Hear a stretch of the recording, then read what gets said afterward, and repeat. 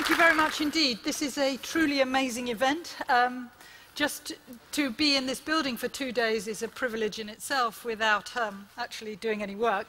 Um, I am hugely grateful to the organising committee for the invitation um, and it feels like a, a great honour. Um, my intention today is to explore the ways in which these three intertwined and mutually reinforcing trends, the medicalisation of life, the industrialisation of healthcare, and the politicisation of medicine, with ever increasing surveillance and control of biometric diversity, weight, blood pressure, bone density, depression score, cholesterol, etc., etc., etc., are actively promoting disease and the fear of disease, and so spoiling our lives. The driving force of medicalisation is fear the age old human fear of the future. And within contemporary Western society, there is very little place for the existential human fear of suffering and death. No shared ritual available to contain and channel it. And we are bombarded with information about risks to our health and what we, are, we should be doing about them. This is a cartoon, I hope you can see it. This is a cartoon with the radio bringing you news of fresh worries every day.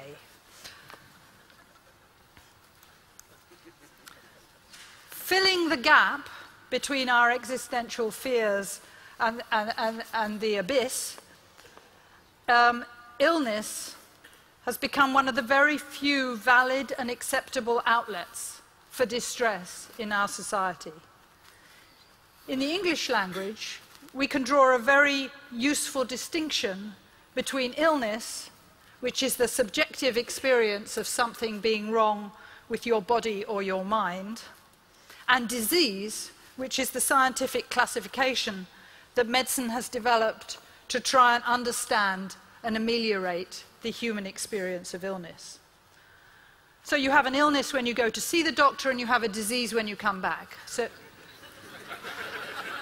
so you go with a sore throat, you come back with tonsillitis. You go with chest pain and you come back with a myocardial infarction. Today, although we are living longer and there is less rather than more untimely disease, doctors are asked to respond to more illness and more fear. Simultaneously, the rhetoric of preventive health care is ever more popular with politicians and journalists both trading consciously or unconsciously on the universality of human fear. Illness is much more extensive than disease, but fear permeates both. Global capitalism is opening up the whole arena of human health for the pursuit of profit, trading on human fear in an explicit and calculated manner. People living in the richer countries of the world are now living healthier and longer lives than ever before in history, and the majority are fit and well. Only a minority are sick, and so the profit to be made by developing and selling treatments for the sick is limited. There is clearly much more money to be made by convincing the healthy majority of the immediacy of threats to their health and the need to take action to avert or minimize these.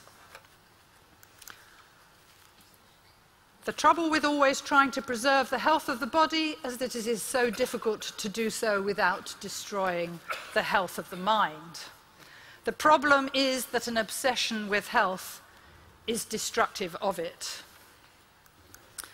This is Amartya Sen, the great Nobel Prize winning economist, and he has drawn attention to the inverse relationship between life expectancy and rates of self-reported illness. In an, in an, article in the British Medical Journal in April 2002, he compared India and the United States.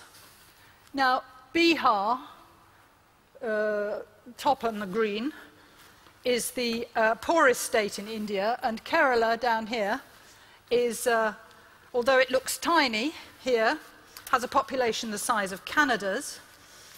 Um, and Kerala is the state which has invested most heavily in education, especially for women, and which has achieved highest rates of literacy. And this is Sen's diagram showing life expectancy for males and females in India compared with the United States. And predictably, this is lowest in Bihar, the poorest state in India. It's highest in the US, with Kerala punching well above its economic weight. But this is the paradox. These are the rates of self-reported illness. Worryingly low in Bihar, where people are obviously too busy struggling to survive to notice whether they feel ill or not. And quite ridiculously high in the US. And this leads to the uncomfortable discovery that the more people are exposed to contemporary healthcare systems, the less well they perceive themselves to be. The more people are exposed to the machinations and the surveillance of healthcare, the more they perceive themselves to be sick and at risk, and the highest, higher the rates of self-reported illness become.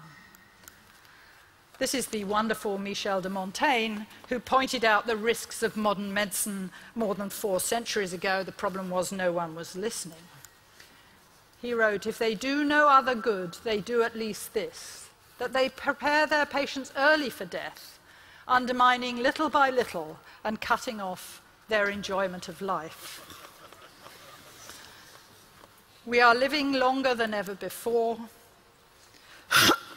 enjoying unprecedented levels of physical health, and yet perceive ourselves to be ill. This must surely have something to do with the insistence of preventive medicine and the constant injunctions to look out for the early symptoms of disease and to accept screening tests.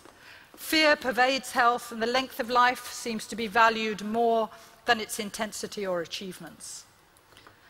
The metric, thank you very much, the metric of preventive medicine is length of life, and it seems to have no way of accommodating other values. And in the name of this endeavour, our lives are subjected to greater surveillance than ever before. With the widespread expectations of a long and healthy life, fear becomes transformed into greed. And an ever greater uh, appetite for consuming healthcare resources at the expense of poorer and sicker people, both globally and within nations.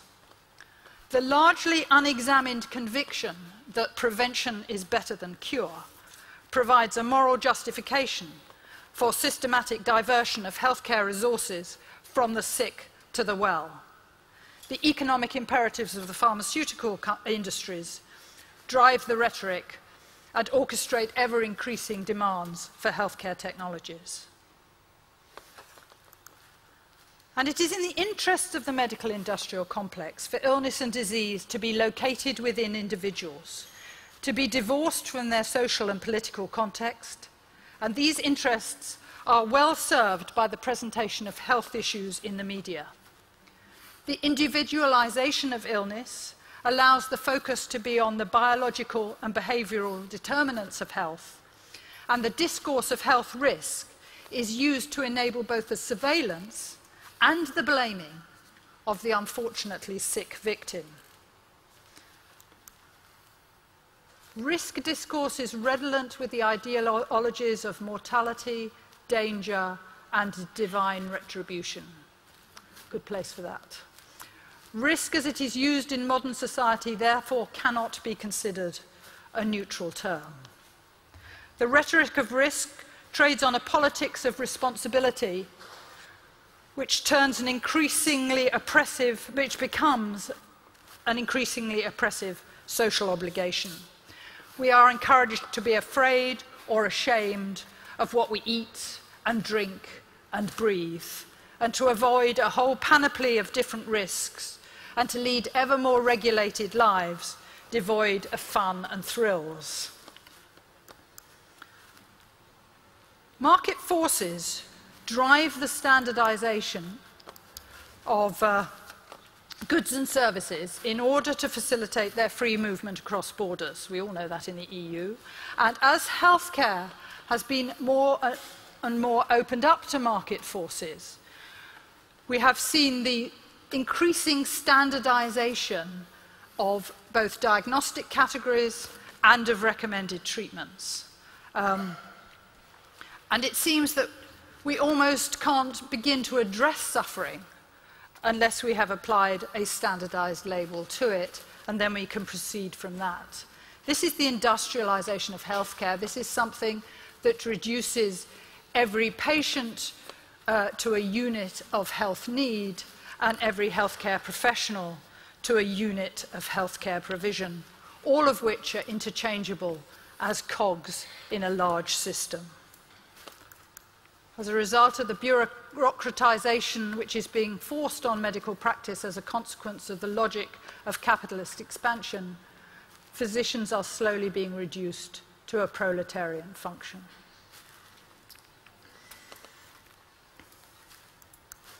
The words of the moment have become information and choice. And it is no coincidence that these are the requirements of an algorithm. The illusion is that if patients can be supplied with information and choice, they can make their own way through the algorithms of healthcare without the need of doctors. The systematic deception is that medicine is simple and linear and can be reduced to a series of robust guidelines and that there is a right answer in any given situation. All this is based on a false certainty which knows what it knows but is dangerously unaware of what it does not know. Strict adherence to guidelines for fear of risk should not be allowed to stifle innovative practice or the patient's choice of alternative therapeutic solutions to the same problem. There are clear dangers that the rigid application of protocols based on population data to individuals and the increasingly heavy hand of bureaucracy seems likely to impede sensitivity, flexibility, and even innovation in the delivery of care. The standardization of medical practice is welcomed as a way of eliminating the worst of practice but it may also eliminate the best, and that may not be a good deal uh, for society. It says 10 there, and you're saying 5. It's contradictory. I'll do my best. um, uh, all, all of this is related to the vexed issue of clinical freedom. Current deprecation of the importance of professional autonomy seems fundamentally to be about the assertion of political authority and control. Despite the exponential production of guidelines, judgment remains intrinsic to clinical practice.